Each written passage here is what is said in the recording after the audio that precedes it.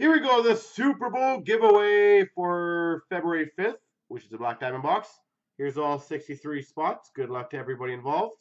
Whoever gets on number one wins the box. Three times.